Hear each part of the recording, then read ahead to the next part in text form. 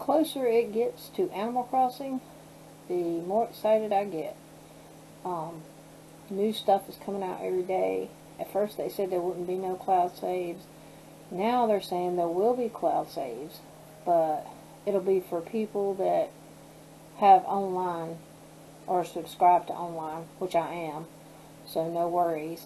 Um, I'm glad to hear that because, like, what if something happens to your Switch? If it gets stolen? Uh, what if you destroy the game card? What if your dog eats it? I mean, that kind of stuff does happen. Then you would have just lost everything. So, I'm relieved about that.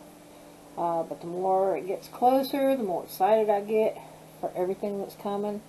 Um, I keep watching and rewatching the videos every day on Nintendo and just the different crafting and this thought of setting up on an island. It's just very, very exciting. And just the game looks amazing. The crafting looks amazing. You'll be able to build your own stuff. Um, I'm just so curious to what it's going to be like. Are you going to be able to buy clothes? Are you going to have to make your own clothes?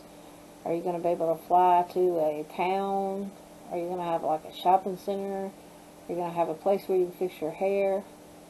Have all these questions. So yeah, I'm excited. And I definitely want the pink hair. I love pink. Maybe purple hair too. But I sort of like the pole vaulting over the rivers too. I can't help it. I'm like super excited.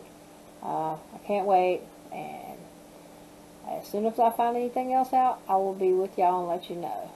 Thanks for watching. Like, share, subscribe, and comment down below. Thanks again. Bye-bye, y'all.